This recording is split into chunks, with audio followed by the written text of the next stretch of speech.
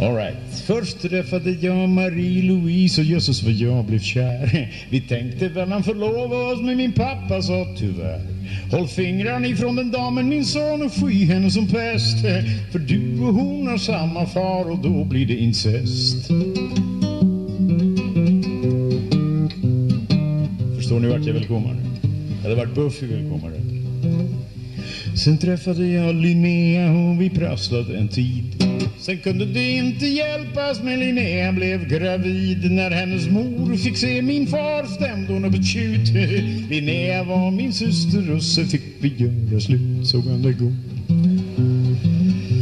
Anita och Karina, Britt-Louise och Siv Ja, hundra andra damer fick jag stryka ur mitt liv För pappa kände deras mor och sa det till direkt Den kan du inte gifta dig med för ni är faktiskt släkt hur är det?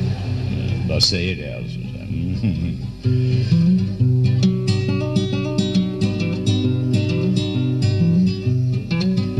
Förstår ni nu medborgare att jag blev ganska sned?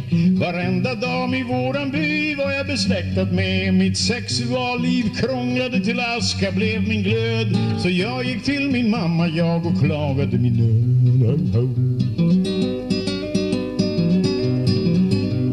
Min käre son, sa mamma då ut i all enkelhet. Din pappa är en riktig bock som alla människor vet Och alla dessa damer är han säkert upphov till. Men han är inte far till dig, så gift dig med vem du vill.